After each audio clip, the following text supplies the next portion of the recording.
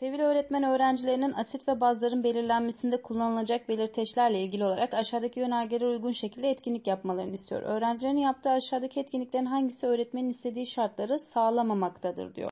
Etkinlik yönergesine bakalım. Sizlere dağıttığım kağıdın üzerine fen kelimesi yazarak kağıt üzerinde aşağıdaki gibi iki bölge belirleyin.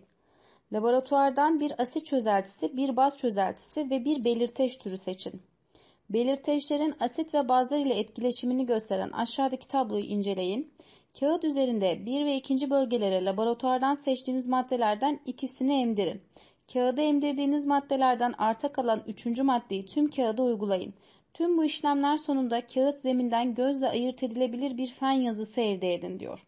Şimdi gözle görülebilir bir fen yazısı elde edebilmek için kağıdın dış kısmı ile fen yazan kısmının e, farklı renklerde olması gerekiyor. Şimdi bakıyoruz arkadaşlar nitrik asit, asit, amonyak ise baz. Nitrik asit fenofiteleğinde renksiz olacaktır. Yani bu arka bölüm renksiz oldu. Amonyak baz fenofiteleğinde pembe renk alacak. Yani bu fen yazan yer ise pembe renk olacak. E, arkası renksiz yazı da pembe olursa ayırt edilebilir. O zaman bu şartları sağladım. B şıkkına bakıyoruz. Hidroklorik asit metil oranjda. Bakın asitler kırmızı. Bu arka fon ne oldu arkadaşlar? Kırmızı oldu. Sodyum hidroksit ise baz. Metil oranjda bazlar sarı. Bakın fen yazısı da ne olacaktır arkadaşlar? Şöyle düşünelim. Sarı renkte olacaktır. Kırmızı e, alt tonda sarı yazı görünebilir ve bu da yine şartları sağladı. C'ye bakıyoruz. Nitrik asit fenofiteleğinde renksiz yani burası arka fon renksiz oldu. Kalsiyum hidroksit baz ve fenofiteleğinde pembe renk olacak. Yani yazı ne olacak arkadaşlar? Pembe renk. Renksiz bir tabanda pembe renk yazı yine belirgin olacaktır. Şimdi metil oranjda sodyum hidroksit bazdır arkadaşlar.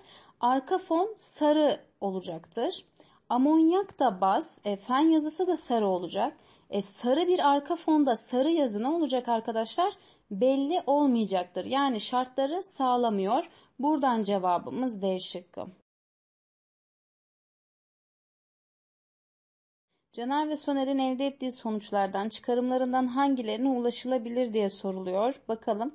Caner'in elde ettiği çözelti asit ve baz ayracı olarak kullanılabilir demiş. Şimdi burada arkadaşlar e, gül yaprağını topluyor ve yaprakları bir tokmakla dövüyor. Üzerine etil alkol ilave edip süzgeçte süzüyor. Açık kahverengi bir çözelti elde ediyor.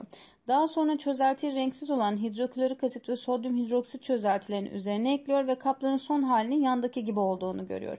Bakın asitte pembe, bazda ise mavi renk almış. Bu durumda asit baz ayrıcı olarak kullanılabilir diyebiliriz. Soner'in elde ettiği çözelti asit ve baz ayrıcı olarak kullanılamaz diyor.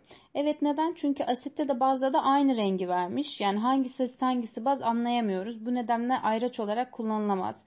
Caner ve Soner'in elde ettiği çözeltilerin karışımı asit ve baz ayrıcı olarak kullanılabilir diyor ama e, Soner'in elde ettiği çözeltinin karışımında böyle bir şey söz konusu değil. Buradan cevabımız B şıkkı olacaktır. Buna göre K ve L çözeltileriyle ilgili olarak ifadelerinden hangileri yanlıştır diyor. K'nın ilk durumdaki pH'ine baktığımızda 7'den yüksek. O zaman K için baz diyoruz. Ve L eklendikten sonra bakın pH'i 7'nin altına düşüyor. L için de o zaman asit diyebiliriz. Bu durumda 1 ve ikinci ifade doğru oluyor. K çözeltisinin formülü hidroklorik asit, L çözeltisinin formülü sodyum hidroksit olamaz. Çünkü K çözeltisine baz dedik. Bakın bu asit, L'ye asit dedik. Sodyum hidroksit ise baz. Hangisi yanlıştır diye soruyor. Buradan cevabımız A olacaktır.